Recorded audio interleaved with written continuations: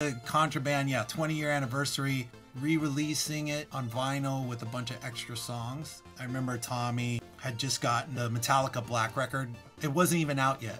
Tommy had gotten a cassette of it. He's like, dudes, I got the new Metallica record. And he puts it on, and then Sad But True came on, and he was just like, dude! And he just you know started like and he fell back in his chair and he fell on the ground and he like cranked it and he blew up the speakers and he had to pay like 10 grand to get the speakers fixed. The Yngwie record came out. I just couldn't even understand it. I was like what how does he do that? What is this? And i remember uh, went to paul gilbert's apartment for like a private lesson. And i'm like dude you know what is he doing? Like what, what's going on here? Do you think Stephen Shareau's stripper girl could have been a hit no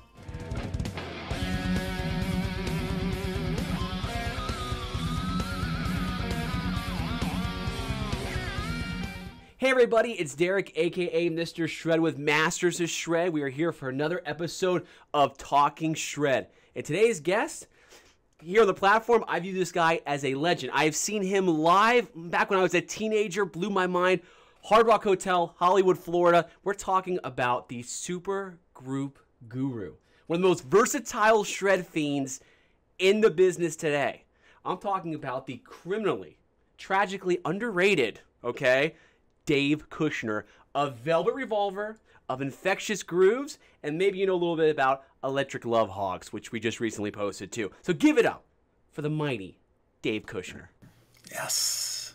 First of all, thanks for having me, and uh, I love your your site and and I mean, you know, I love shredding.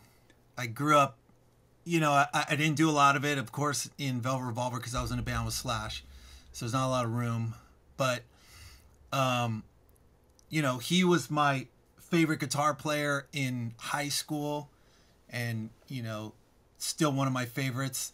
Um, and when I started playing, you know, I got to a point where I could move my fingers, but I didn't really know where to put them.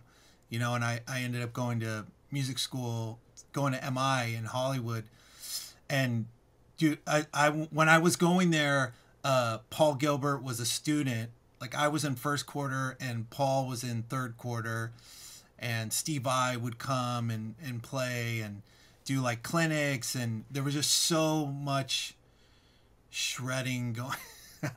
no, but there, there was so much of that, you know, and for me, it's like I was super into that. You know, I would sit in a room and just practice scale patterns all day. And and yeah i remember the first Yngwie record came out and i went to i remember i had the album you know and i go to paul gilbert because he was the only dude like like so racer x used to practice in this in this practice room at like eight in the morning right? And i would go to school early just to watch. It was him and john the bass player and it was before Bruce was in the band, but Bruce was also a student there. So it was just a three piece. It was John Alderete, uh, uh, Paul Gilbert, and this Italian dude that played drums. I think he might have played on the first Racer X record. And they would practice, dude, and I would just sit in the room and watch, you know, because it was a performance room. And, you know, so I've always been super into it. And that the Yngwie record came out, and I, and I just couldn't even understand it. You know, I, was like, what? How does he do that? What is this? And I remember I uh, went to Paul Gilbert's apartment for like a private lesson, and I'm like, dude, how does he? You know, what is he doing? Like, what what's going on here? And I remember Paul like put the record on, and he listened to it once, like this one little shred part, you know, and then he he was like, oh wait, and he listened to it again, and he's like oh, it's just Phrygian mode. It's E, it's A minor scale over E minor. I was like, what? And he goes, yeah, it's just this. I'm like, oh my god, dude. I was so like, just like blown away, Let you know. So, anyways, back to contraband. Yeah, 20 year anniversary. I had no idea actually that they were gonna. Uh, they're re re-releasing it on vinyl with a bunch of extra songs. I just found out. Wow. A bunch of like, not songs that we recorded for that, but just, you know, different little, you know, a live version of this or, you know, whatever. There's some extra stuff that's going to be on there that they're I think it's they're releasing it in September. Wow. Okay, that's big news. Yeah, which was a total coincidence. Uh, you know, I started posting these videos just kind of for the hell of it, and then I found out that they were gonna re-release the 20 year anniversary. Wow, good, good timing then. I guess you didn't get that memo though about that, huh? That's what I'm assuming, or I didn't. I didn't tell you that. Got it later. no, I always get it, just not you know. Got it, got it. Well, you know what? I gotta tell you, you can't go into a story like that you told previously about going to MI with Paul Gilbert, seeing these guys. You can't just leave it at that. I'm already freaking out. I'm geeking out over that story hardcore. So we have to backtrack it just a tad bit and ask you more about that, all right? So you have to elaborate. I've heard stories that Paul Gilbert has also taught Buckethead at his apartment before. Did you ever run into Buckethead while being out there, seeing him as like a student? If I did, I wouldn't have known it because he oh, didn't have right. the bucket on. right. you know, it's like I, I don't really know I don't really know him very well. Uh, I I wouldn't even know what he looked like without the bucket. Um, without the bucket. Yeah, but um, I, I yeah. So I don't know.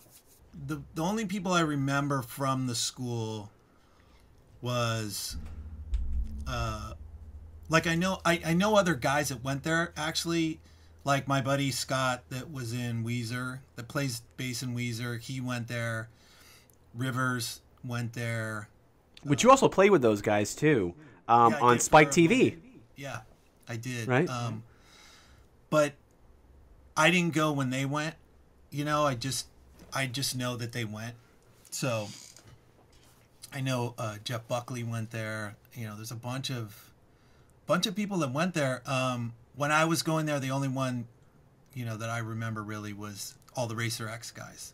You know, John, uh, all the those guys I already mentioned. Even Bruce was going there. Um, you know, and then there was like Steve Vai and guys like that would come and do clinics and stuff. But other than that, I don't really remember any super shredder, any guys of note like that that were there yeah. when I was there.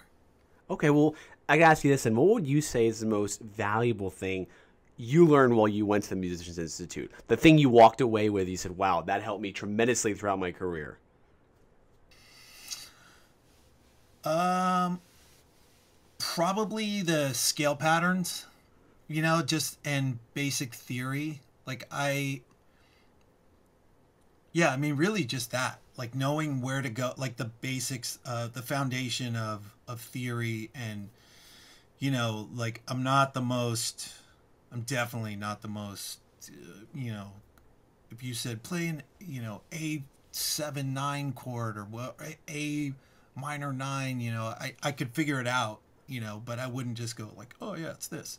I'll play this. And this is the inversion of that. And you know like i know what all that stuff is and and it's like reading music you know you don't unless you are constantly do it it you kind of forget about it. So mm-hmm. um but really those scale patterns and knowing like the basics of you know oh i can play anywhere on the fretboard in a minor. I can an a minor you know or the relative major to you know g major relative minor is e minor. So i know like that. Or you know, just those very basic things uh, definitely carried on for that, you know, I still use today.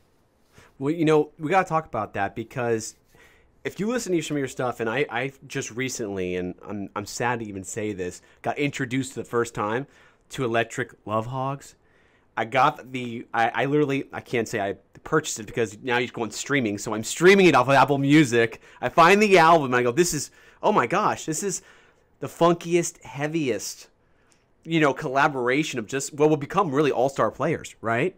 I mean, you guys, you went on to do what you did. I mean, your drummer went on to do what he did. It was incredible. But I went back and I watched him, like the musicianship. You can tell you studied. You had to have because just again that level of your playing. When I I, I just listen to that album, the whole album from front to back, and I go, whoa, this is like mind blowing guitar work here. You're just slaying it. So I could definitely hear some of that stuff, but let's talk about that. Because not a lot of people know that, that album was actually tied with Tommy Lee, right? Yeah. Um, what happened was so the Love Hogs were a local LA band, and and you know it was a great time. It was like we would play shows with Mighty Joe Young that became you know Stone Temple Pilots and Rage Against the Machine and and Tool and all these bands were coming up at the same time. You know, we'd all play gigs together at these tiny clubs, and Jane's Addiction was like right before us, and and you know it was a great time to just be in that band, and and we we were all friends and knew each other locally in Hollywood, and then we um. So the band, uh, Tommy Lee was looking for a band to produce, and the someone from Geffen brought him to one of our shows, and then we sat down with him afterwards, and he was like, "Dude, I love this band. Like, I want to produce you guys. Like, you know, blah blah blah." And then we ended up getting signed not with Geffen, but with Polygram, and we did that that um that record, and he ended up, you know, not doing the whole thing. But we we had Mark Dodson that had done um that did the infectious. It's a it's a it's, it's just such a big thing. Like the the studio we were recording, you know, so we're gonna do it with Mark Dodson and with Tommy Lee, and Mark Dodson was also doing the first Infectious Grooves record at the same studio, and they were also doing No More Tears at the same studio. This studio Devonshire that doesn't exist anymore. Wow. So we were all like in the same kind of common area, hanging out, and um, and I'd known uh, the guys from Infectious, you know, and so we did our first record, but it, it was, I mean, it was awesome. Like it was such a great time, you know. Like with I remember, Tommy had just gotten um, the Metallica Black record had just come. It wasn't even out yet, but because Bob Rock had produced, you know, Doctor Feelgood, and he had you know produced a Black record, Tommy had gotten a cassette of it, and he came to the studio. He's like, "Dudes, I got the new, I got the new Metallica record, like you know, on a cassette." He's like, "Dudes, we gotta check it out." And he like, you know, we're sitting in the in the you know the, not the tracking room, but the the control room, and we just and he puts it on, and it's like, you know, first it's, um, excuse me, it's you know, Enter Sandman. He's like, "Oh." Oh, you were just, you know, hearing it in in you know this with these huge speakers and everything and then he put on and then sad but true came on and he was just like dude and he just you know started like and he fell back in his chair and he fell on the ground and he like cranked it and he blew up the speakers and think he had to pay like 10 grand to get the speakers fixed and it was super fun man and and uh he was great. Like he was so into you know he's super musical he's super into funk and and doing cool stuff and he sang backups and he's a good singer so he would do like cool harmonies and stuff and wow. did a little percussion here and there but he was a he was a good producer. Like he really knew sonically you know what he wanted to hear and how to kind of put it all together so no, it was a great did- experience I gotta ask you, did you do all the guitar solos in that album? Because I know there was another guitar player in the band. no donnie uh donnie campion the other guitar player we we split it all pretty even you know Okay. um yeah you can kind of tell oh well i can tell obviously but the styles are a little different but um mostly yeah we split everything Did uh, did you do the full solo in Tribal Monkey? Because I actually got that on Masters of Shred, and there was a part in there towards the end where I couldn't tell if maybe he hopped in and did that outro no of that main solo. That's all you. Okay. Cool. I couldn't tell because I know, I know it's an incredible solo. I just found that video, and it's the only video I could find, official music video for that. Yeah. band. I'm like, this is great, dude. And you see, people are commenting. They're like, I saw those guys live so many times, and uh, some guy actually responded and said, "Man, I didn't appreciate it much, much at 16, but now at like 48, damn, I appreciate it so much more. So great, you know." yeah i appreciate Yeah. the hair So, okay, what happened there? Because there you had short hair, right? So you started out with long hair. I saw like a video with you and Tommy Lee and the rest of the band talking about the album being made inside the uh, music studio. You had long hair, and I almost didn't recognize you. And then in that video, it went a little shorter, right? i had your haircut You had, you did. It, it looked good, dude. It looked great on you. You know, and then and then you you it all went away and it went to more of the uh, beanie look. Oh, it fell out. Yeah. Okay, that's that's fine. That's not a big deal. You know, it's it's just, dude. It, it's like the the the comb over of the new millennium. You know, it's Yeah. like it it just it happens. You know, it Yeah. got started getting thin, and you just you know it's better just shave it. You know, Well, it is true, dude. I have a nice you know head, so I'm I'm very lucky. Dude, You you are because not everybody looks good bald. It's- True, It's, true. true. So the the Rock is lucky, and so is Stone Cold Steve Austin and Bill Goldberg. But Yeah. uh, you know, and, and Dude, of course and, you. And I'll tell you that the story of the mustache is because the guys like that, like I, I remember when I shaved my head and then I had a goatee, and then I looked like all those guys. You know, what I mean, like we all, like every bald guy with a goatee, and I really, I just like shaved out the middle one day, and I was like, oh, that's kind of cool, and it's that's how it came to be. signature look. You know what's funny about that? I'll tell you something, dude. You go back and you watch any Velvet Revolver live concert footage. You go watch any music video, and you take away the date that that took place, when that music video was dropped, and you look at the styles, how all of you looked. It's timeless. If you look at it today, it still looks relevant and it's not passe. That says a lot. Like everyone had their own style and it's still relevant today. It does not look dated. Yeah, I remember. uh But I remember, like in the beginning, trying to kind of find, like, you know, just like, oh, how should I should I try and do something different? Like, there's this one, um, um, uh, what is it, Guitar World? Like the first cover we did, a Guitar World. I'm wearing like this fedora and like this long coat and a white beater, and it's just like my, I'm just my whole look is so untogether. And I remember, and then like there was this other photo shoot where I was like, I had this like Vivienne Westwood suit that my wife had found. It was like this cool double breasted like brown suit or whatever.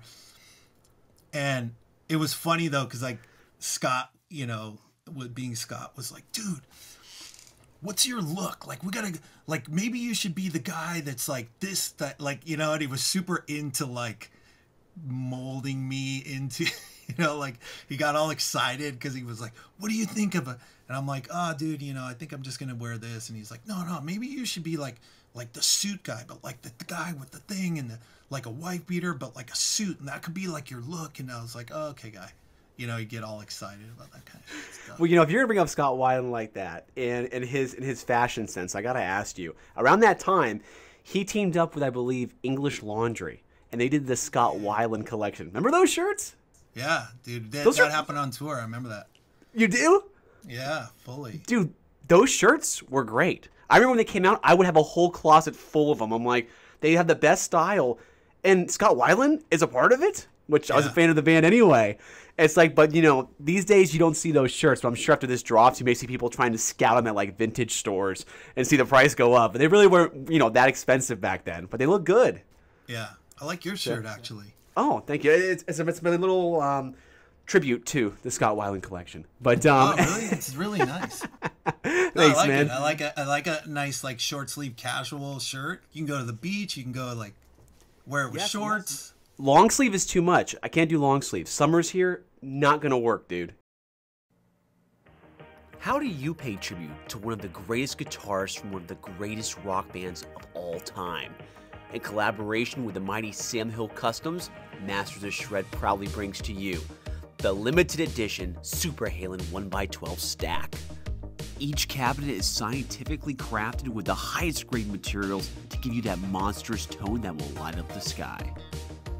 Hand signed and dated by Sam Hill himself, these limited edition amps are limited to just 50 pieces. With no two finishes being the same, you can be assured that your Super Halen amp is one of a kind. Visit www.mastersofshred.com now to reserve yours today before you can't get this stuff no more. Let's talk Yeah. about the gear a little bit. Were you rocking ESPs with Electric Love Hogs? Yeah, I was. Yeah, I I was. uh I f- I got a story for everything. Um, I liked the because the um, ESPs felt like Charvels, you know, like the neck. You could, you know, they had that like unfinished flat, you know, fretboard and everything. Which obviously lends itself to shredding and, and good size frets, you know, and they were really cool back then. And um, our manager, uh, Rick, God, I can't even remember his name.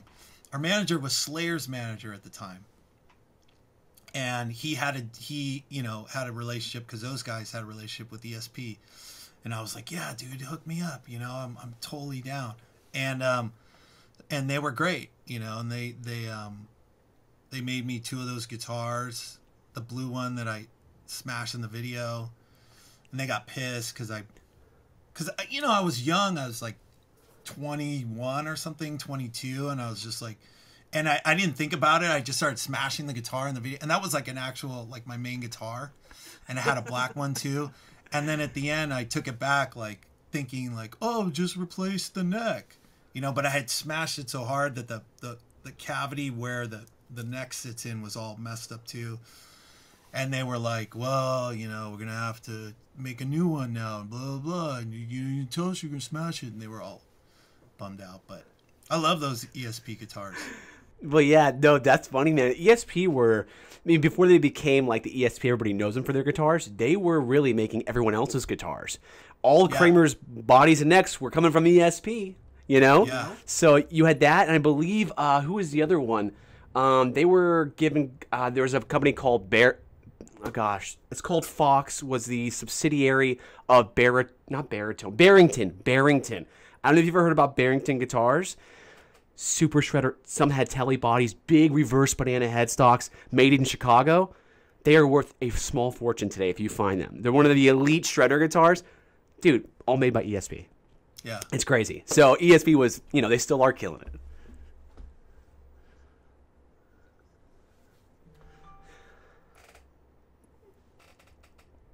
I was just gonna bring this up to you since you were going to musicians. Performance guitars. Yes, dude. I have a performance guitar I scored in Orlando that you would freak you out really? over, dude.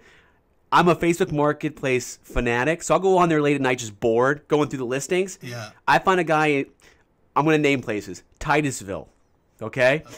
and he, I see a Lamborghini Orange, one humbucker, Kahler, banana headstock like an '85 Kramer, wow. maple neck, okay, nice. six hundred dollars he listed as performance guitar. Yeah. So he, I, I said, oh wait, is this is this the performance that like Dweezil, Steve Vai, all those guys? Yeah, yeah. Got it for three fifty. That's in the awesome. story. I wanted to get that lime green, uh, you know that Steve Vai Charvel that he has, the lime green with the pink pickups. And you had a drummer from your first band, Wasted Youth, which was Joey Castillo, right? Okay. Any relationship to Randy Castillo? No. Good. You know what? We're gonna we're actually breaking that now for the first time because people all over threads online have been asking that for years. okay, oh, really? I was yeah, I was actually wondering that too. I'm like, is he related to Randy Castillo, who's also a drummer? What are the odds, right? It's confirmed he is not. Okay, okay is but, but you guys did go off to start a band whose name is very familiar, but not the one we're thinking of. You guys were the original Lit. Uh, yeah, that was. That's true.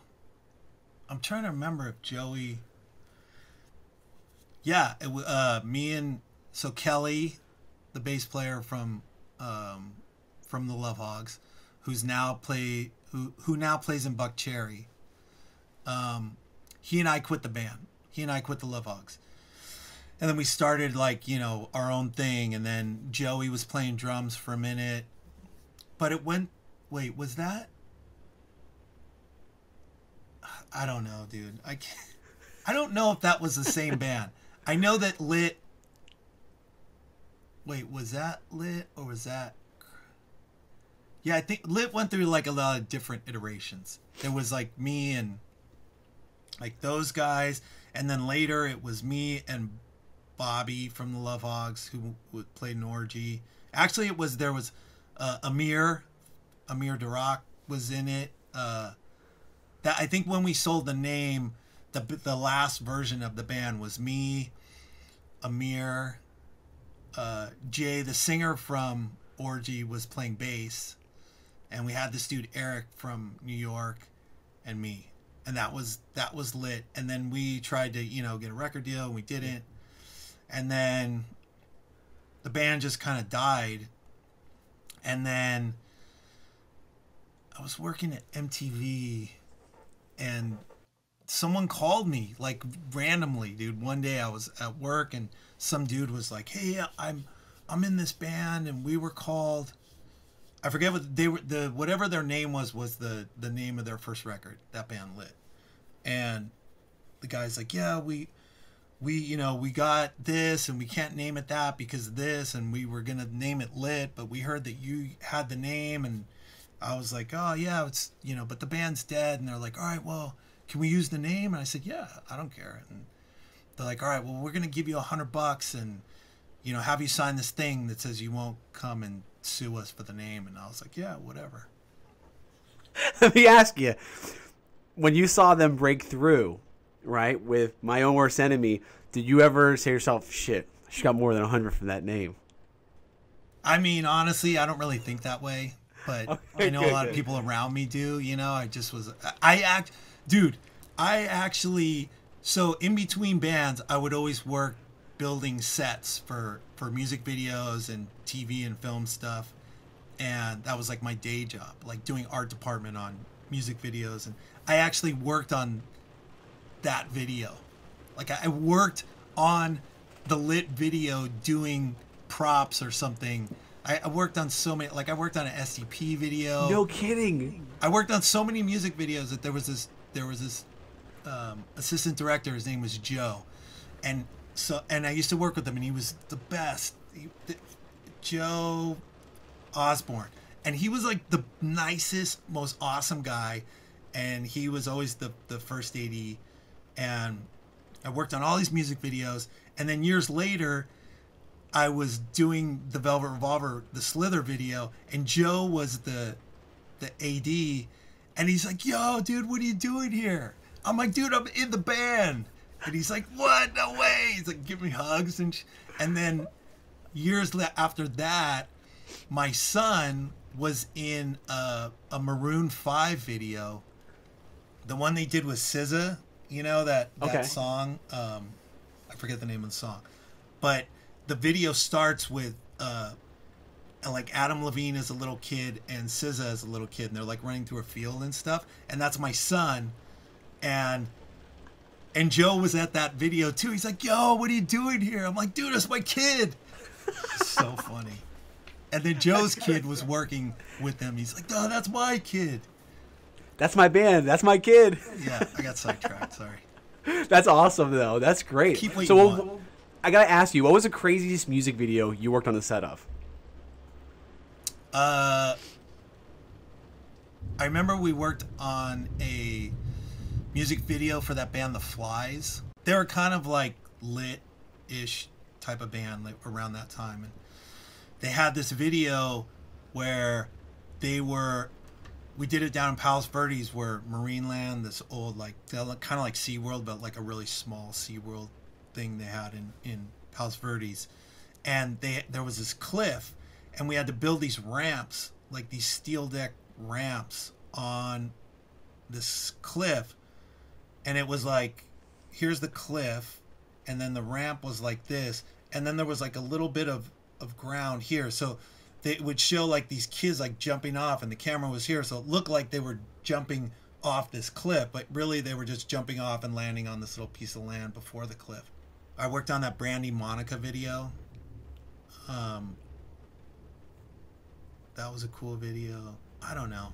I worked on a bunch of videos. That's so wild. So you you've been in the industry, lock and loaded, for decades. Yeah. Oh, Sour Girl. That was a cool. The oh my gosh. Video. Yes. Yeah, we built that whole like little you know land that they're in front of with the where the Teletubby looking characters were, like that whole backdrop thing, like. Like I remember working on that video and like seeing, you know, Scott and Robert come in. They're like, dude, what's up? What are you doing? I'm, I'm built that thing you're standing on. They're like, wow, that's rad. So, yeah. So you knew you you you okay. So you had already known Scott at that point before you even got into Velvet Revolver. You guys had met before, right?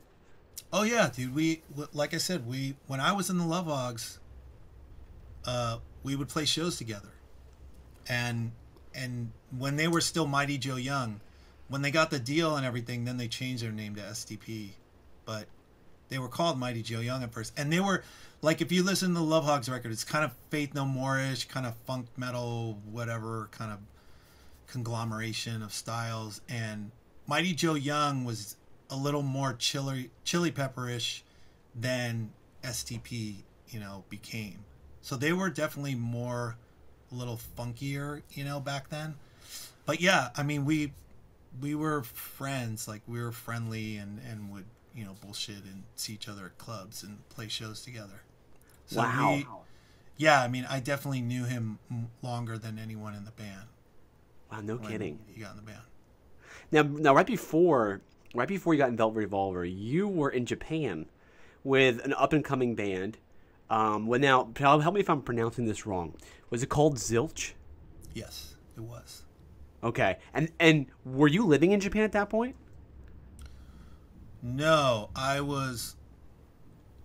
You know, it goes back to Joey Castillo. Like we were in Wasted Youth together before the Love Hogs. Uh, we did the first iteration of Lit together. I ended up playing in Danzig because Joey was in Danzig, and he got me that audition. I played in this band Sugar Tooth that Joey was in, and uh, and then he was doing Zilch, and he suggested me and then I came in and then we went on tour and did like three weeks I think in Japan. It's a really long story, dude. It's probably not like it's like a whole podcast. Okay, well, I got to ask you this then. If that's the case, I, when I read about that, I heard about that. I said, is that where he got introduced to Fernandes guitars? You know, believe it or not, I was already endorsed by Fernandes at that point. And it was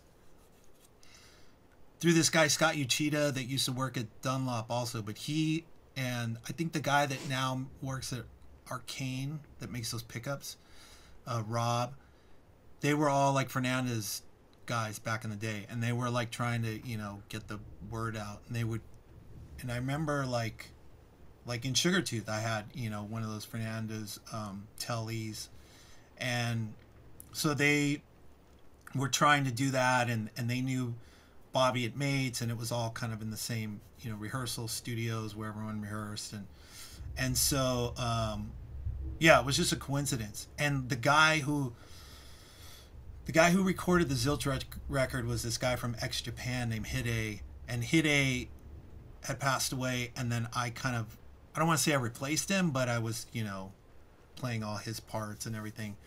But he was the biggest Fernandes endorsee ever in Wow. the history of and when like when he died i think they sold like i think it was like 30,000 signature models the day he died like like michael jackson of guitar players of japan like Isn't that crazy? And we- would hear nothing about him here. Essentially, yeah I've never. dude my i remember when he died my uncle and i was telling my uncle like oh i'm going to japan and it's this guy hide and i had never heard of him and and my uncle was like who's like a librarian at some college and he was like i just saw his funeral on cnn like that's how big he was like it it, it was like crazy Wow, wow. And you, so you've been in a Fernandes artist forever. So how do you feel about the unfortunate news recently that they're going to officially close their doors? Which I mean, Fernandes is like an iconic Japanese guitar brand. I mean, have you heard? What was the last time you heard from like anyone over there? It has been recent, or No, it's been forever. I mean, to be honest, like, you know, my, my experience with Fernandes, like, they were great. It was always super good relationship, but then they kind of changed hands, and uh, during the first uh, Velvet Revolver cycle, like, I had I had all those guitars, and then eventually, you know, like, I had my model right there, and it was great. And then I wanted to do another model. Like when when I did this one, I like I went to some hot rod shop and got like that paint and I was like this is the paint I want you know I want it to look like this and I really was like I want the binding to be this and I want you know blah blah blah and then I did the blue one and I remember like I I said I want it to be exactly the same but blue I want the cream binding I want blah blah blah and then they you know I remember like going to see the prototype and there and it had black binding and I was like no, I, I said like I wanted this, this, and this, and they're like, whoa. And I was dealing with different guys now, and I'm like, you know, it was like, it just bummed me out because it was like they they changed the design, and then I I was like, well, I don't want this, and they're like, well, we already kind of started producing it, and I remember playing it, and I was like, this doesn't play as good as the other one. They're like, I'm like, what's this is not right, and they're like, oh, well, we switch, you know. uh manufacturers from like Korea to to China or vice versa or whatever. And I was like, dude, I'm I'm I'm not putting my name on this. Like I, I don't want to really do this. And they're like, oh, well, we'll fix it. And then they fixed it. But from that point on, it really kind of soured me on the not the brand. Like the guitars are fine, but like you know the just dealing with them as a company at that point. Yeah. So that's when like the second album you know happened and then brendan turned me on to those gibson 345s and then um, you know slash was obviously with gibson and i met some Right. dudes there and they were like check this guitar out and they gave me that guitar you know and i was like oh this is well, i was like you know this is my new guitar and, and uh, so I, you know just So it, it just made more sense. It was just natural to go to Gibson. yeah Did Slash ever fiddle with your signature Fernandes when you were on the road? no He wouldn't touch it. No. No, he, it's not, no, I'm just kidding. He wouldn't. He would not. T- you know, he just was like, "Oh, that's cool." And you know, I think that you know, those guys were so. Um, you know, they had such rich histories with Gibson and Fender. You know, and then when I I'm like this new guy and I come along with this like weird looking guitar by some you know brand that no one's ever heard of and you know i'm like hey guys check out my guitar you know and they're like oh that's nice you know gotta all right go along go play it over there they weren't that dismissive but you know what i mean it was kind of like they had and now you know I, I really see the difference like when i pick up my guitar you know my signature model versus um you know this les paul that i have that's like a an eric clapton signature model it's like you know, I mean, you feel the difference, and you hear the Yeah. difference. So You know, it, it is true. I had a Fernandes that was one of their Strat copies that had the um, the ball headstock like Brad Gillis's did back in the day, and it was a gorgeous guitar. I actually just sold it. Gorgeous, look great, but you know when you pull out your like Gibsons and stuff like that, it's you're right. It's just different quality. It's a different kind of feel. You know, great guitars though. I mean, the ones I had were all made in Japan, but like you're saying, they did do a shift, and I think it was to Korea, and that's when you started to see the uh, craftsmanship kind of change a bit. Yeah, And I think that, that may have been the case with what happened to yours. not saying Korean made guitars are bad because now the standards are like crazy good. I mean, look at all the Paul Reed Smiths; they're nuts for being the SE Yeah. models, right? I think those may be made in like Indonesia. I think I'm not sure. I'm sure I'm gonna get fact checked on that. But imports aren't all bad. no, I But, no, um, I, I agree. You know, I mean, like, look, they they're, you know, it's like I don't know if you've ever been to Japan, but like their attention to detail is is crazy. Like, you know, it's next level. You know, so you know to to have something made from there, you know, it's not like I don't. I, I, having been there many times, I never like dismiss the quality of something just because it's from, you know, here or there. Like I remember when, when I had that problem with Fernandes, they, this actual, this one guitar, you see that like there's a little white sticker right here, and it's Yeah. actually written in Japanese because they, because I was like, you know what, I'm done, I'm I'm leaving, and they were like, no, no, no, wait, we'll make you what if we make your guitars in Japan? You know, and I was like, well, maybe, I don't know. And then they made this one in Japan, like one like a one off. You know what's funny though? Your guitar still holds value really well. Oh, and Yeah, it's it's my dad has a blue one. He has the I think they called it Pelham blue. Yeah, yeah, that's And it has- one. But it's got black binding, and it's like not what I wanted. Well, you know what? I got I don't remember if his was Korean or Japanese. It has this the uh, sustainer though, which is what listen, that's what everybody wants when they buy Fernandes. They want that sustainer in the neck. You know? And those are a little harder to come by. But uh, yeah, I know because they just announced they're finally done and I just think, man, yeah, that's the end of a Japanese icon for guitars because they were killing it. I think in the '80s they had they had Jakey Lee. I mean, they had you. They had Brad Gillis, Adrian Yeah. Vandenberg, uh, Kirk Hammett was playing them. Yeah, Robert Trujillo had his mom. Robert Trujillo. There you go. I found an ad, dude. I found an ad recently. Uh, it's just me and Robert, you know, in a Fernandes ad. What? Yeah, it's, Really? Yeah. Dude, you're, you're gonna have to send me that because I love that stuff. If you look behind me right here, that's literally a magazine rack I bought with all old 80s guitar magazines on it. So I got Guitar School, Guitar for the Practicing Musician, Old Guitar Player. I got them all, dude, because I love the ads. They just Yeah. like so it's, it's such a different time. You can you can feel and sense the enthusiasm for guitar. Everyone was like exploring all these new dynamics and shit. yeah, And yeah, we have great players today, but I just think the enthusiasm that you guys experienced back then for guitar playing isn't there today. I don't, I don't, I don't, I don't see it to the degree. yeah, yeah. You know what I it's mean? Definitely different.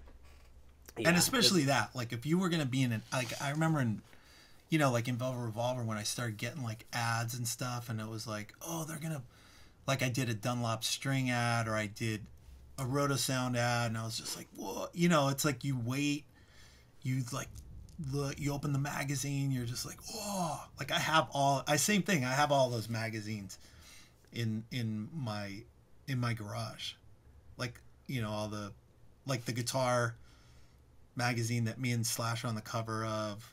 I forget if it was Guitar World or I don't know what it was. But- maybe Guitar One. I remember Guitar One was doing a lot of love for Velvet Revolver back, which they're they're also gone now too. Yeah. No more Guitar One magazine. A lot of defunct ones, but definitely a good time to be alive. Now, before we get into Velvet Revolver, you actually knew Slash in high school, junior high, right? Yeah, yeah, we went to uh, junior high and high school together. He was one grade ahead of me, but yeah, Okay, so did you guys ever hang out and like jam together at any point, or was it more so I just knew of him in school, he knew of me? we didn't jam, but we were, you know, we were friends. Like we didn't hang out a lot, but we definitely hung out in the same circles at times. Um, I remember he had this three-piece band called Tidus Sloan, and I remember one time going to his apartment, well, you know, where he lived with his mom and his brother, and trying to sing, but like I, I can't sing really. But I had sang in this punk rock band, so I was like, oh, maybe I could sing, you know. And I remember like trying to sing with him. It was just me and him in his room or in the living room of the apartment. It was bad. Really, no kidding. Well, okay, I know Slash is a big BMX guy.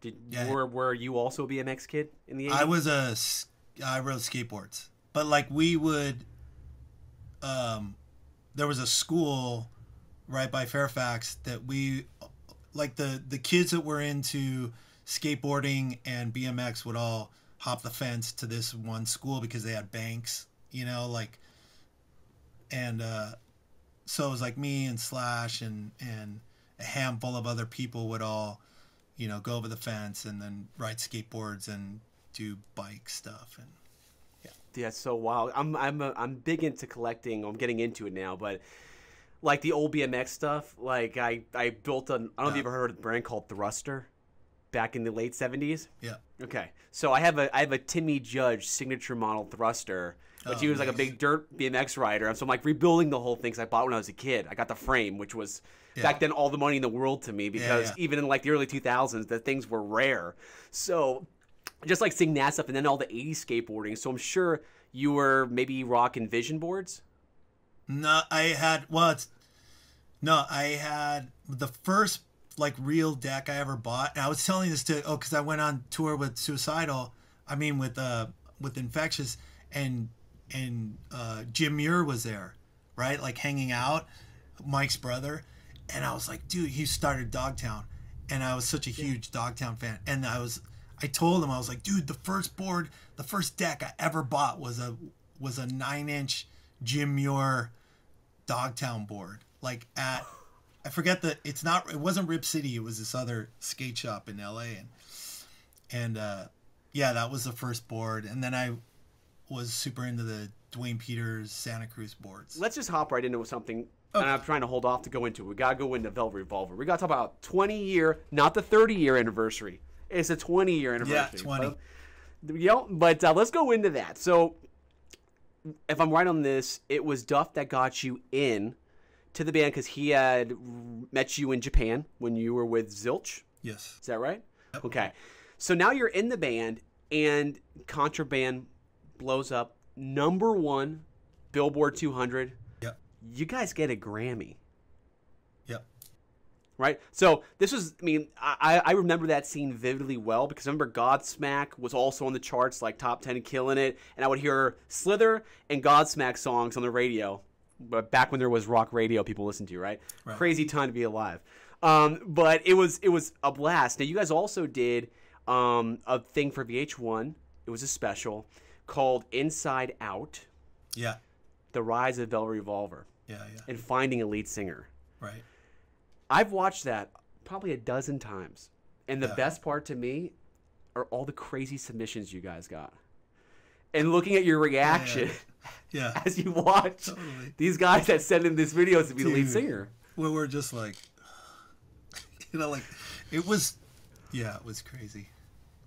so I mean, I gotta ask you: yeah. Do you think that Stephen Shareaux's "Stripper Girl" could have been a hit?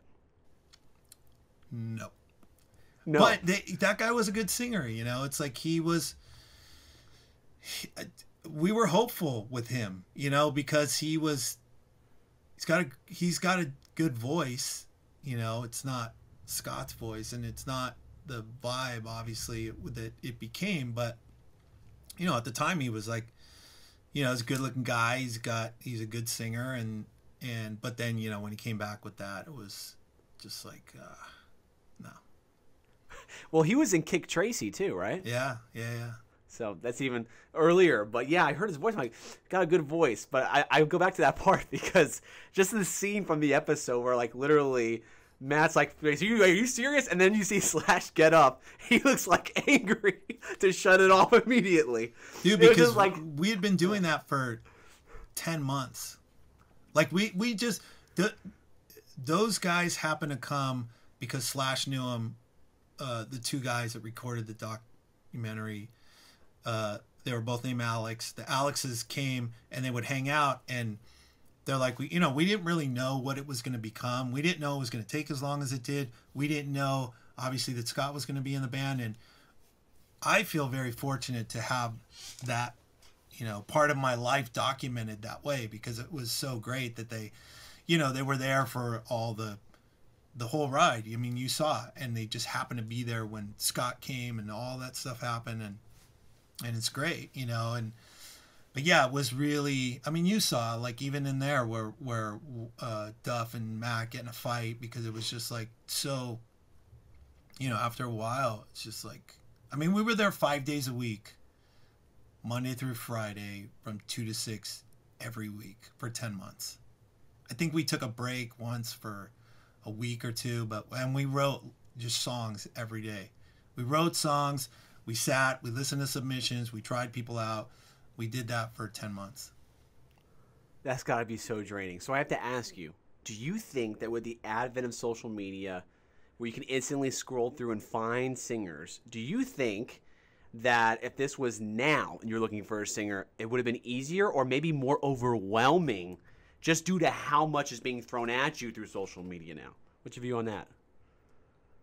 I think it would have definitely been easier because I mean the just the the process was you know, it was 2002, like MP3s were just kind of starting.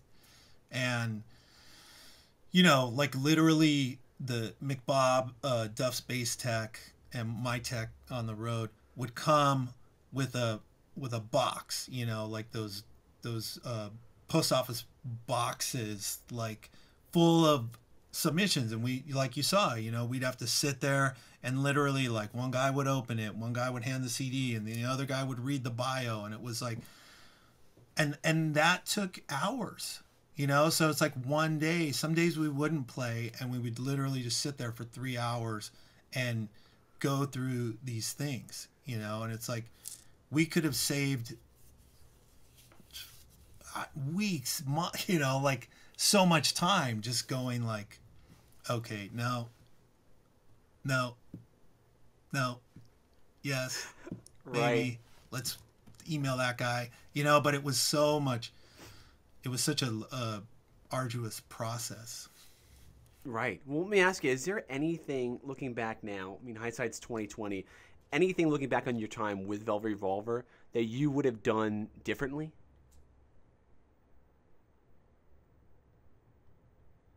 Hmm. I don't, not that comes to mind. No, So I mean overall, it, it, was the, everything you would have hoped for. Yeah, I mean, look, it, it's you have to realize that when you're in these situations, you're, you know, what I and look, I came from, I was like the unknown guy. You know, it was like these guys had all had, you know, huge success before me, and I was just the guy that happened to be in the. You know, look, I'm not going to discredit the fact that I can play or that I, you know, added what I added, but I was also kind of just everything you know i don't know if it's you know someone up there's plan and you know or just luck or whatever destiny i don't know but you know the fact is is that what i learned from it is you know you've got five guys that are drawn together by uh, art you know something creative.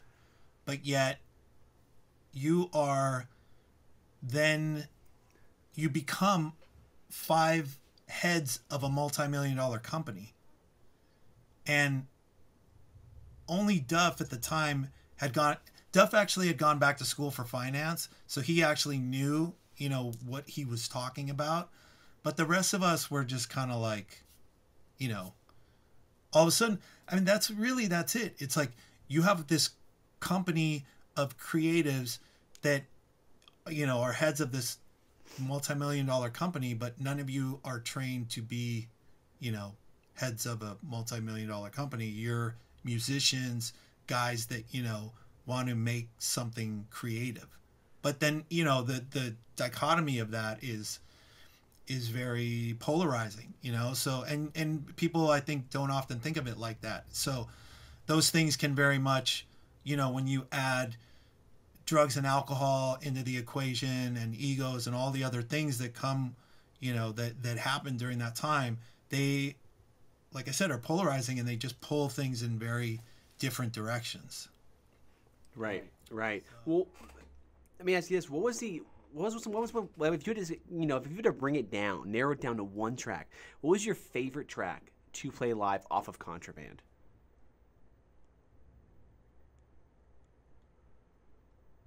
someone asked me this the other day uh i would say you know i don't really know sucker train blues was always super fun because we opened with it and it was it had like you know tons of energy and you didn't want to like break stuff and so that i think was probably that That's a great track. And when you guys did um, "Set Me Free" and it was on the Hulk soundtrack, did you, were you guys ever invited to the premiere party for that? Oh yeah, that was like a whole. That was a whole thing. Like we, we, uh, we met with all these different. They're uh, they're all in the video. You know, like the I saw that, saw, yeah. like all those uh, music supervisors from Paramount and all the you know, and and uh, we ended up talking with the different ones and getting offered different movies, and then we got the Hulk. But when we got offered the Hulk, it was very like we were very involved. Like uh, we actually went to uh, Kathy Kathy Griffin. No, not Kathy Griffin. Kathy. I can't remember her name. She was the music supervisor, and she's like, "We, I want you to come to my house, and Ang Lee, the director, is going to be there, and they want to kind of talk, and maybe there's a way to." maybe tweak you know uh, the lyrics a little bit for because he wants to explain to you what the deal is with his version of the Hulk. So we actually met with him, and him and Scott talked about the lyrics, and you know they're like, we don't want to take it away from what you've already done, but maybe there's like a little tweak here or there that we could do that may have it make more sense with the Hulk's journey and you know like so we we did all that and then we went to the premiere and uh yeah i remember go, i have a picture of me and my wife and stan lee you know and uh because he was there and i remember meeting um like danny elfman and and his brother and yeah it was pretty it was pretty cool it's gonna be a wild ride. Oh, just a wild couple of years for you, right? In there, where you're all this being thrown at you, right? But you, no one can deny you've paid your dues in every sense of the term. You know, so I'm like, that's. I think you were exactly where you needed to be. You know, yeah. and I don't. I don't know if anybody else could have taken that that job. You know, so that, that's that's really awesome to hear about that. Now, you know, with Velvet Revolver and the big success, second album comes around and then we see the breakup and and you know I think that um, Scott went on to do Stone Temple Pilots again for a little bit of time. Yeah, yeah, and he then, went back to STP. Right, and then you around 2008, you reinvent yourself in a way, right? Through TV, you enter the TV world with movie and television soundtracks. Tell yes. us about that. I mean, really, it's just um, the I was so I just had my my son, you know, my first kid in 2008 and the band was kind of done and I was I mean honestly dude, I, again, I really just I don't know if it's destiny or whatever. I I I got really lucky or whatever. I I was at I was with Scott from Weezer and Brian Ray from um, Paul McCartney's band and this other friend of ours, Bob Thiele, who was the composer and music supervisor on Sons of Anarchy and um, the Mayans, and we were all sitting in this booth in Johnny Rockets, and we were just talking, and he was telling us about this job he had just gotten. He's like, "Oh, I'm doing the music for the show," and it's like The Sopranos meets the Hell's Angels, and it's gonna be called Sons of Anarchy, and they hadn't started filming or anything yet, and he's like you know, and just here's the vibe, and I'm thinking like this, and you guys have any ideas? And I was like, oh, hey, it'd be cool if you did this, or blah blah blah. And he said, you know, do you have any idea? He's like, if you want to come by and work on something or write something. And you know, that, that for me, it also like on a in a very non-musical way is a big uh, moment for me to really remember and see um, contrary action being a, such a positive thing in my life. Like I said, I, my my wiring is to say no, you know, out of fear. Like you know, oh no no no, I'm busy. You know, it's like no, if I get in a room with you, you're gonna find out that I'm not as good as you think I am, or whatever. You know, like that kind of imposter syndrome and all those kind of things. And so my head told me to say no and so i said yes you know because i've been i've learned to just take contrary action and I said yes, and I went over to his house a week later, and I had that riff um, because I, I I had that riff anyways, and so I was like, well, dude, I got this part, and it kind of sounds like it might be cool, and the and and we wrote it into a song like that day. Like we wrote the whole song that day. We he we sang he sang on it. We um he wasn't the final singer, but like he sang the melody. We wrote the melody together. We wrote the lyrics. We played everything and recorded it that day. Wow. So, and yeah. what a huge success that show would go on to be. Yeah, and we had I mean, no idea, dude. We we, we didn't hadn't even been recorded, right? Hadn't been recorded yet. No, and we didn't even get the we didn't even know our song was the theme song until the week before the show came out. Like they they were trying to get all these other people to do the theme, you know, like and but the the Kurt Sutter really liked our song, but Fox was trying to get like a bigger name and a, you know, and but eventually they were like, well, this is the best song, so. Wow, I remember vividly watching every single episode every week and following that storyline, and then I just you know learned this. I'm like, wait, what? I've, who doesn't know that song, right? You hear that, Yeah. you know exactly what it is. So it's just like, Yeah, I again, mean, jackpot, you scored. It was huge. Right? Yeah, it was like, you know, that happened, and then all of a sudden it was like, oh, you guys got nominated for an Emmy, you know, and I was like, what?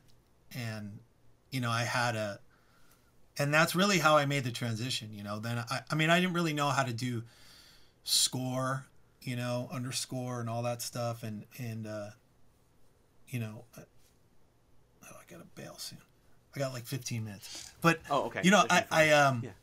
yeah, I, I I got very lucky, and I did that, and then you know from there, that guy Bob uh, went on to do this show called Detroit 187, which was a cop show on ABC, and me and my friend at the time, he asked if we he thought we would want to do it, and we said yes, and we submitted some stuff, and then on that show is where I really learned how to do score, like you know actual underscore, not just writing short songs, which is great. Like I've done that, you know, a number of times afterwards, and and theme songs are awesome because it's like you don't have to think about how do I make the second verse different than the first verse? How do I make this chorus bigger and what's the bridge going to be and what's the outro going to be and what do I have to add to it? You know, it's just like verse, chorus, or one awesome part, and that's it.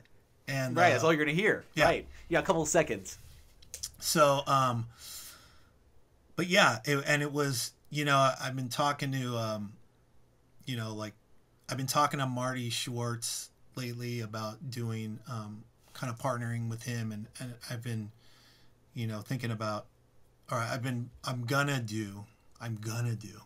I'm doing this uh master class thing with you know the to do stuff about playing guitar but also to you know how to make that transition as like a band guy someone who didn't go to school for composing to do composing. Like because there's you know just even the terminology you know the the the terminology i didn't know at all. You know i didn't know what a cue was or you know having a spotting session or working with a with a with a director or a producer you know and and how to do a spotting session and how to you know where the scene starts and where it ends and where you want the music and what's the temp music and you know all this different stuff and and even the mindset of writing to picture is totally different you know than writing a song you know Right. because you're serving something that's already there and you're typically you know you're you're Right. you're trying to get uh, you're part of a team that's trying to you know um, make the the watcher the viewer feel something you know and and there's a whole like there's so much to learn about it you know and and you know i'm, I'm still feel like a novice but you know just there's just so much you know Well, what do you say is your favorite piece in a in a cinematic picture that you think they did a great job? Where they casted the artist, it was a great piece to put in that particular moment in that scene. And when you think of, you know, movie soundtracks, that's the first thing that comes to mind in that scene in that movie. What would Oh, that be? i don't know dude I got mine right here, so you gotta have something. You do? You gotta Oh, have something. Um, I don't know, and it, it's weird because a lot of it isn't score; it's more like, like you know, needle drops, like song placements in movies. You know, I True. think that's like there's this movie, that movie Crooklyn, the Spike Lee Okay. movie. You know, where like the mom, the mom dies, and it's like Delroy Lindo's like trying to get his daughter ready for the the funeral, and it, there's that song by the I think it's the five five stair steps or stair tops or something like that. They it's that that song "Ooh Child," you know, like "Ooh Okay. Child, things are gonna get easier," you know, and and and then there there's this Isaac Hayes song in Dead Presidents too, where it's like uh, that's another that's another thing. But as far as like actual score, I can't I can't think Well, of anything off. Um, anyhow, so well, we're gonna wrap it up here a little bit. I gotta ask you, kind of tying it up. Massive success with Sons of Anarchy. Then December 2015, we get horrible news. Scott Weiland has passed away. yeah, do you remember where you were at, what you were doing when a, when an event like that takes place? Um, yeah, I remember I was in my house where this all is, and I remember um. Yeah, I remember well because Joey Castillo was on was playing drums with them and was on tour with them, and Right. I remember being in the other room and Duff calling me, and telling me, and then I remember calling Joey, and I couldn't get in touch with him, and then I talked to him the next morning, and he was like, "Dude, I, I was gonna call you, but, you know, he was like being interviewed by police and, you know, all because him and the tour manager were the ones that, because found Scott on the bus, because." Scott would do that, like even in our band. Like he a lot of times, you know, there was two different but like with our band at one point, most of the time we had two different buses, but he would his thing was always like he would take the back lounge and set it up like a with a bed, you know, and make it like a little bedroom instead of sleeping in a bunk. So I think that's where he was on the bus when he passed away and the I think the tour manager like you know went to check on him just to say like you know the why I think I think Scott's wife was calling the tour manager like Scott's not answering the phone. I can't get in touch with him. And then they they went on the bus. And I and that dude and Joey were supposed to go I think they were going to eat or something. So then he called Joey and was like dude you know you got to get down here and I think that's and then I think they found him and then that's yeah that's what I heard happen Did that was that was that shocking to you, or did you kind of back your head think, uh, you know, I don't know if I, you know. I mean, you know, can- honestly, it's it's tragic. I mean, it's a bummer. Period. But Hmm. was it unexpected? No. Right. No, it, it's true. And, I, and and just recently to end this off, I know that um, Duff McKagan did an interview with uh, Metal Hammer magazine, and he was actually asked about, um, you know, the idea of well, looking back at Velvet Revolver. I'll just read right back to you. He said that we took Velvet Revolver around the world, but there were things in the band that we just couldn't get around. And I remember those days fondly, but I don't think we'll ever come back together with Scott gone what's some of your you know responses to that in the sense of maybe we know some of like what would you say some of those things could have possibly been some issues there? Or could you see Velvet Revolver ever coming back without Scott but somebody else um, that's not trying to be Scott but maybe does their own flair in these songs? I mean what's your view on that as a member of Velvet Revolver? I mean, uh, you know, I, I, it, uh, it would be, I think it would be fun to explore, you know, because I love playing with those guys, and to have, you know, we, we've done it with uh, different guys, you know, when we tried out different guys or we worked with guys for a minute, you know, or we, we even had uh, Frankie Perez in the band for you know a, a, a minute. And he and i went on to become really good friends. And and um, so playing those songs with other people i've experienced and it's great. It's fun you know? It's like it's pretty awesome. So i would you know speaking for myself i would be totally up for you know investigating it.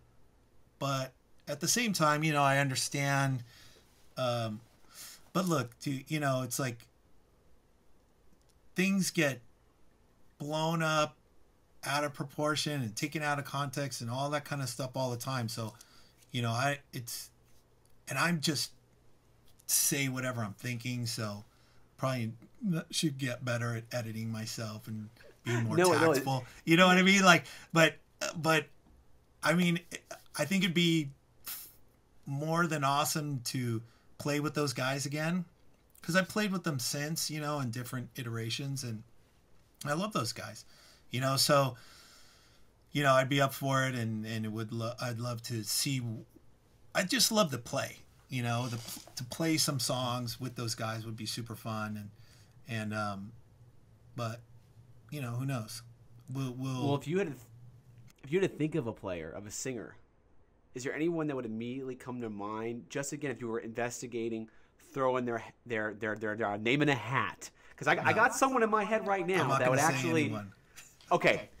Then I'm not gonna gonna say anyone because this. just because I know, dude. Like, like I did this interview last, you know, a couple weeks ago, and it was like, yeah, I was just talking. The guy was like, "Oh, do you get nervous on stage?" And I'm like, "Oh, I get, you know, I, I weirdly, typically don't get nervous." And you know, he's like, "What about something else?" And I was like, "Oh, you know." Something about Slash, you know. I saw that interview. yeah. I saw it. You And know then why? I was like, yep. and then I was like, and then I get these Velvet Revolver like uh, Google alerts, and it's like Slash gets super nervous on stage, you know, and I'm like, oh great, you know, and it's like It, it, could have been one terrible. time that he said it to me, and I'm like, dude, so You know what it is too? Do you understand these publications will literally scan through an interview with someone just looking for something that can be very clickbaity Yeah. and can be twisted to put on their headline because they won't cover like usually won't cover the nice stuff. They go for the kind of juicy stuff that could be squeezed. yeah, which I get, but that's also why I'm like, even just when you asked that question, I was like, oh, maybe totally this is where it. I should die, like, so, so it's not like Dave Kushner says that so and so it could be the new singer and blah, blah, blah you know. There it is. No, listen, I I totally get it. So here's what I'm gonna throw out. I'm gonna throw out go. a name because I, I think it makes sense. Ready? Go. Myles Kennedy. But let me explain. No, no, you don't have to. We we we actually went out to Myles before Scott, and he Yes, was that's what I'm talking about. Yes. and he was doing um he was doing his old ma- I think the Mayfield Four was his band he was doing, but yeah, he we we talked to him, and he turned it down, and then. I don't remember what happened after that. I, I think that after Scott, Slash was already talking to him about doing his thing, and I think Slash really wanted to do his solo thing, you know, at that time.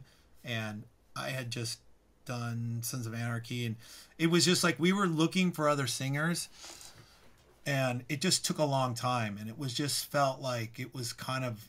No one ever said it, but it kind of felt like it was time to like move on. But Yeah. um, you know, because it was like, yeah, So I got, I got, I got you. But, but, so, so now you know my reasoning behind it. He was already in the running. Kind, you guys wanted him to come out to audition, and I'm like, he's already done so much with Slash. yeah, I feel like it'd be like a real organic fit for the band. You know what I mean? yeah, yeah. yeah. Um, but uh, all right, so I'll, I'll leave it with this: How does Dave Kushner define shred? Ooh. How do I define shredding? I mean, to me, it's like the kind of shredding that I love the most is like, you know, when I first heard Steve Vai, that Flex-Able record, you know, and it was just like, there was so much passion. It like, for me, it's just like, there's other guys like you know, like I listen to all those guys, all the shrapnel artists. Like when Wasted Youth made the record, we we made it on shrapnel record. Like, or no, it wasn't kidding. shrapnel records, but it was at uh, that studio where where they made all the shrapnel records up in Cotati, California. I remember, and Marty, I remember. Anyways, I but I used to listen to all that, like Greg Howe and you know Chris Impellitteri and like all that stuff. Like I would definitely investigate. I was into all Jason that Becker, stuff Richie Kotzen, Yeah. all that kind of stuff. but you know the guys to me that were like like Paul Gilbert or you know Steve Vai Steve Vai especially was is one of my all-time favorite guitar players you know when I heard like there was this I remember there was in Guitar Player magazine uh, there was a little like floppy disk that you could put on your turntable and listen to it was that song Call It Sleep that he put out later on another record and it's like the solo in that is like I mean, the guy obviously can shred, but there's so much passion in it and so much feeling. Like for me, that's really, it can't just be shredding for the sake of shredding and going fast. It has to have, you know, like the solo in, in um, Electric Eye, you know, is Glenn Tipton. Like that's one of my all-time favorite solos because it's just like he's fucking squeezing those notes out of that solo, and it's just or like Gary Moore, who's like or Yep. or Eric Gales, like those are Yep. my guys. Like when those guys shred, it's another there's this extra passion in there that's just really it's not so much about you know the technicality it's like i have to play like this because i need to get my point across instead of Mm-hmm. just you know sweeping or doing or frank Gambale, he was a teacher at the school when i was Yeah. going there and and his sweeping stuff was just like next level dude. But there was a you passion know- behind it you know? And for me it has to have any shredding has to have passion behind it real fucking i mean even Yngwie you know? It's like people like to knock him and you know it's like his but there is a, a fury to it. And when that first you know rising force record came out or even i saw him playing steeler with you know at in back in the day. And it was like oh my god you know and i remember like buying that first steeler record and like who is this guy you know George Lynch tells a similar story. He says he saw him in a club in L.A. George Lynch Yeah. may have been at your show. He saw him playing. He's like, "Oh, we got some trouble here. This is not. Yeah. this is not good." yeah yeah dude you know. So I, I I could totally see that. For me, I say all and George like Lynch, dude, yeah. same, you know, like um, Yeah. I'm, you know, a fan of his. And dude, it's so funny because I was looking at your feed and I saw um Phil X, you know, a lot of Phil X there, and like, tons of feel, tons of feel. dude, seriously, and and a great personality, obviously, and super funny and everything, great energy. But there was a like one of his bands. And I heard this song on the radio the other day, and I, I took a screenshot. Like I was driving in my car, and I took a picture of the, because it was on, uh, I don't know, it was on Spotify. Because I was listening to one song, and then more songs came up, and you know, but it was like, it's a really good song. It's kind of like a punk kind of song, but he's got he's got a few of those. We we did a master class with him, and he just he delivered it. Like I set the whole thing up for him, and we try to make them each very unique to the artist and make it just very engaging for everybody. But we did that, and Yeah. he got and actually jam with everybody. Oh, so Oh, we'd be on stage and jam with him. Yes, and dude, he went for anything. You want to jam Van Halen? He'll do it on the spot like that. I'm like, dude is he's ready always. All right, so everybody, I want to I want to thank again Dave Kushner for being a part of this interview, taking the time aside. We're gonna definitely have to do some more of these because again, your career is just so vast. There's so much to talk about in so little time. So we're gonna have to definitely do this again. Dave, where can everybody follow you at? um, oh, hold on. Got that. out. No, we're leaving that in. Wait, hold on. No, there's. I just started doing. Uh, when I started the. Hold on. Oh, when I no when I started uh, doing those posts, you know, and started talking on Marty Schwartz and everything. Um, I started the like I never had a YouTube channel, you know, so I just started it, and I was looking, I was like, oh, what's the thing? And it's at Dave Kushner Music uh, on on YouTube and at Dave Kushner on Instagram, and you know, I did a few things on TikTok, but that's TikTok. So, and I have Dave Kushner. I'm building website for DaveKushner.com, um, but when I um, you, those the, all those places will have information on the upcoming um, masterclass thing, and and I'll be working with Marty, so his you know anyone that works with him will know uh, what's happening with that, and um, yeah, that's it. Dude, very cool, very cool. Awesome. And guys, follow us at Masters of Shred Official, Mr. Shred Official on Instagram. Follow the YouTube channel if you like this video, you like this content, you like this interview with Dave. Definitely subscribe, like, share, comment, show us you care. Means the world to us. Very awesome moment. Thank you for tuning in. Big thank you again to you, Dave, for being a part of this. This was such a blast. I appreciate letting me pick your brain. I know I asked you a lot of questions, so I appreciate it. Yeah. Well, you know what? I equally talked a lot, so. Which isn't a bad thing for me. That's good.